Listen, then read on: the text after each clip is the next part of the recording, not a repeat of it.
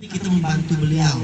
Nah, inilah perlu nanti kita koordinasi yang baik dan kerjasama yang baik dalam menyelesaikan tugas-tugas kita ke depan.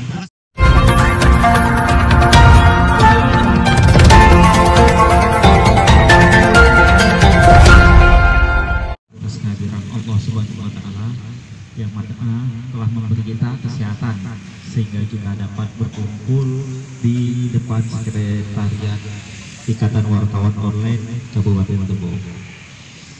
Dan tak lupa marilah kita aturkan salat dan salam kepada Nabi besar kita Muhammad. Untuk membentuk uh, suatu lembaga pemantau untuk tujuan yang utamanya adalah bagaimana pemilu pilkada Kabupaten Tebo tugas kita nanti kita bentuk kita kerja bersama bagaimana mengawasi pada pilkada ini sehingga betul-betul Kabupaten Tebo ini dipimpin orang yang betul-betul memiliki satu kemampuan dan mempunyai satu tujuan yang betul-betul untuk membangun Kabupaten Tebo bukan sekedar untuk menjadi perampok ya yang bilang Pak Romi tadi. Nah, penguasa. Nah kalau untuk penguasa itu gampang gitu kan.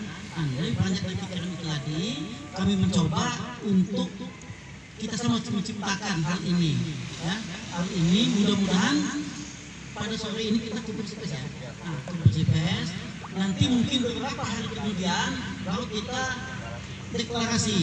Nah untuk deklarasi ini tentu kita tetap menggunakan kita membantu beliau. Nah inilah perlu nanti kita koordinasi yang baik dan kerjasama yang baik dalam menyelesaikan tugas-tugas kita ke depan. Terima kasih itu. Terima kasih.